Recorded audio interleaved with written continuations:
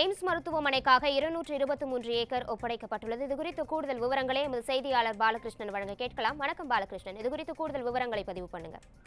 வணக்கம் ரேவதி. எய்ம்ஸ் மருத்துவமனைக்கு இருநூத்தி இருபத்தி மூணு ஏக்கர் நிலம் மத்திய அரசிடம் ஒப்படைக்கப்பட்டதாக மாநில அரசின் கூடுதல் தலைமை வழக்கறிஞர் செல்லப்பாண்டியன் உயர்நீதிமன்ற மதுரை கிளையில் தகவல் தெரிவித்துள்ளார். மாநில அரசும் ஒப்படைத்து விட்டதாகவும் அதனை மத்திய அரசு முழுமையாக ஏற்றுக்கொண்டதாகவும் மத்திய அரசின் வழக்கறிஞர் விக்டோரியா கௌரியும் உயர்நீதிமன்றத்தில் ஆவணங்களுடன் தகவலை தெரிவித்தார்.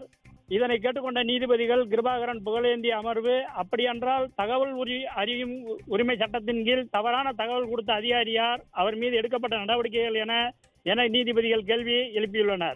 மத்திய அரசிடம் தமிழக அரசிடம் முழுமையாக ஒப்படைக்கப்பட்டது என மத்திய அரசின் வழக்கறிஞர் நீதிமன்றத்தில் தகவல் தெரிவித்ததால் இந்த வ- இந்த வழக்கு ஒரு பரபரப்பாக ஒரு முழுமையான தகவல்கள் வெளியே வந்துள்ளன. தகவல் அறியும் உரிமை சட்டத்தின் கீழ் தவறான தகவலை கொடுத்த அதிகாரிகள் மீது நடவடிக்கை என்ன என கேள்வியும் எழுப்பியுள்ளனர். எந்த வழக்கில் இந்த கேள்விகளை எழுப்பியுள்ளனர் என்றால் மதுரையைச் சேர்ந்த ரமேஷ் என்பவர் உயர்நீதிமன்ற மதுரை கிளையில் ஒரு பொதுநல மனுவினை தாக்கல் செய்திருந்தார். அதில் மதுரை எய்ம்ஸ் மருத்துவமனை அமைக்க மத்திய அரசு கடந்த ஜனவரி மாதம் அடிக்கல் நாட்டப்பட்டது. ஆனால் மருத்துவமனை கட்டிட பணிகள் நடைபெறவில்லை எனவும் இதற்காக அரசு நிலம் எடுக்கவில்லை என தெரிவித்திருந்தார். இந்த வழக்கு இன்று விசாரணைக்கு வந்தபோது இந்த பணியை துரிதப்படுத்த வேண்டும் என ஏற்கனவே உத்தரவிடப்பட்டிருந்தது. இந்த வழக்கு விசாரணைக்கு வந்தபோது தமிழக அரசினுடைய மூத்த வழக்கறிஞர் ஆஜராக வேண்டும் என கால அவகாசம் கோரப்பட்டது. அப்போது நீதிபதிகள் தமிழகத்தில் எய்ம்ஸ் மருத்துவமனையிடம் கொடுப்பதில் ஏன் காலாவதம் கேள்வி எழுப்பி வழக்கு விசாரணையை மாலையில் ஒத்திவைத்திருந்தனர்.